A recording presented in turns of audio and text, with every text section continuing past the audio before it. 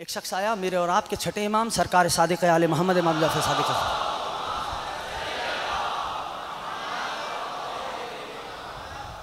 सुनाऊं? एक शख्स आया, कहने मौला, खाके शिफा की बड़ी फजीलत सुनी है। सब सुनना। सबको जुस्तजू होती है ना? लेकिन मौला, मैं लाया, असर नहीं किया। इमाम मसनद से टेक लगाए, तशरीफ़ फरमाते, टेक छोड़ी। फरमाया कोताही तुम करते हो, इल्ज़ाम खाक को देते हो।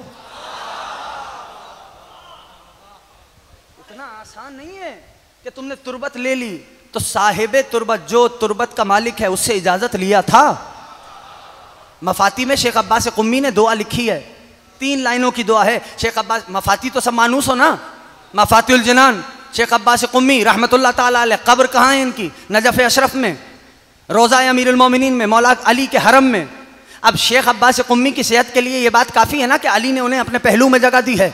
उन्होंने तीन लाइनों की दुआ है, बड़ी मुख्तर सी। हाँ उन्होंने लिखी है, शेख अब्बास कुम्मी, एक शख्स आ गया शेख के पास। कह लगा मैं, मेरा ए आल कसीर है, यानी फैमिली बहुत बड़ी है।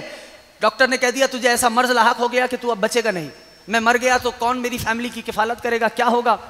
तो शेख ने उसकी जानब देखा, कहा, जा, कूजे में पानी लिया शेख अब्बास कौमी रहमत कूजे में पानी लिया वो गया, कूजे में पानी लाया। जब लाया ना तो एक मरतबा शेख अब्बास कुम्मी ने अपने हाथ को यूँ ज़रिए मौला की जाने बुलंद किया और फरमाया, ए मौला, आप गवाह हैं।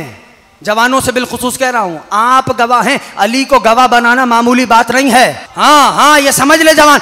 आप गवाह हैं कि इन उंगलियों से शेख अब्बास कुम्मी ने ज़िंदगी भर सिवाय तरवीज उलूम आल मोहम्मद के कोई और काम नहीं किया। ये कहकर उस पानी के कूजे में अपनी उंगलियाँ घुमा दी। उस आने वाले से कहा, पानी पी ले। तुम्हारी मर्ज़ी है। जब पानी पी लिया तो शेख ने कहा, जा तबीब से पूछ, मर्ज बचा भी है कि नहीं? तो बोल रहा है, इमाम जमाना राज़ी रहे। कहा, मर्ज बचा भी है कि नहीं? जब गया ना, तबीब ने कहा, तुझे तो कोई मर्ज नहीं। दूसरे के पास गया, तुझे तो कोई मर्ज नहीं। ये वाकया मैंने यूँ ही सुना दिया। इसलिए ताकि दुनिया वालों को पता चले, जिस घराने के गुलाम ऐसे हैं, मौला कैसा होगा?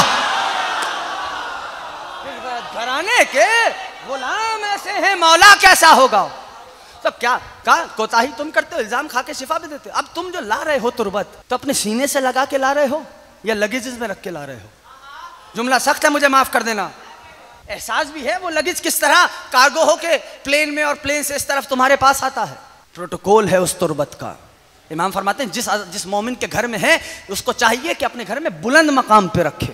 मासूम का फरमान है, तुरबत करबला हाँ? मासूम का फरमान। अब बात क्या है? कब बनी खा के सिफा जब अबा अब्दुल्ला का लहू उसमें मिल गया। तब कहने वालों ने कहा, भाई, इसमें सिर्फ़ अबा अब्दुल्ला का लहू तो था नहीं। इसमें तो जो यजीदी दुश्मन मरे थे, उनका भी खून था। समझ गए? हम्म? क्या मामला है? देखो, परेशान होने की बात नहीं। यही मफहूम है तथीर का। लो, मैं जवाब दे देता हूँ। यही मफहूम है तथीर का। अब मैं मिसाल से समझाता हूँ, भाई, बात यह है, समंदर समंदर होता है। दुनिया की नजासतें उसमें डाल दो, समंदर की तहारत पे फ़र्क नहीं आता। या साहेब या साहेब दुनिया की नजासतें उसमें डाल दो, समंदर की तहारत पे फ़र्क नहीं आता। अजीजों, रुक के जुमला सुनना। भाई, एक जानवर है नजिसुलैन सब जानते हो ना? नजिसुलैन जानवर। आप गए? आपने उसको तीन बार समंदर में गोता दिया।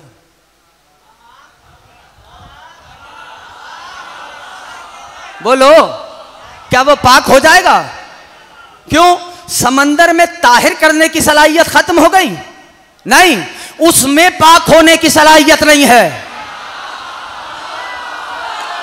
या साहेब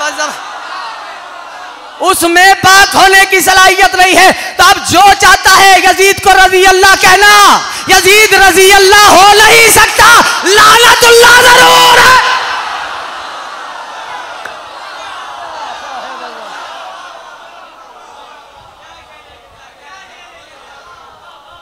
अब्दुल्ला है, अबा अब्दुल्ला सुल्तान करबला है। जमाना क्या दर्द करेगा? अब अब्दुल्ला ने फरमाया, सुन लो, अल्लाह अकबर हाँ? यहीं से फैसला ले लो ना। हमारा खून हमारा खून अगर शारा पे गिर जाए तो दो घंटे बाद बू भी देगा, बीमारियाँ भी फैलाएगा। है ऐसा या नहीं? बोलो। बोलो। ना ना जो खामोश है, क्यों खामोश हो? फैलेगी बीमारियाँ नहीं, है? यहीं से फ़र्क महसूस कर लो ना, ये हमारा खून है। गिरेगा तो बू भी देगा, बीमारी भी फैलाएगा। वो हुसैन का लहू है, गिरने के बाद शिफा बांट रहा है।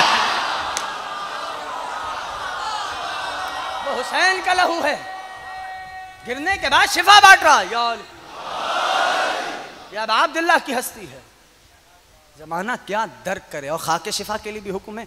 एक जर्रा, कोई अगर मरीज़ हो, एक जर्रा। बस काफ़ी है। ये याद रखना, हा? ये जो होम्योपैथी का उसूल है एक तरीका इलाज है ना होम्योपैथी? होम्योपैथी। उसका उसूल क्या है? क्वांटिटी कम क्वालिटी ज़्यादा। ये उसूल इसी बुनियाद पे। एक जर्रा। और अब अब्दुल्ला ने अपने साथियों के लिए क्या कहा? ए मेरे साथियों अन नहनो ऐनुल हयात। हम वो हैं जिनसे ज़िंदगी फूटेगी। ये इमाम हुसैन के साथी हैं। सोचना भी नहीं। अब अब्दुल्ला के साथी हैं। हुसैन के अंसार, हुसैन के असहाब हाँ? और गाजी ने क्या फरमाया? अंतुम लुब्बुल बरिया। ए असहाब हुसैन इबन अली, तुम खुदा की खुदाई में खुदा का चुनाव हो। मैंने अर्ज़ किया ना, हुसैन ने फितरत बदली है। फितरत।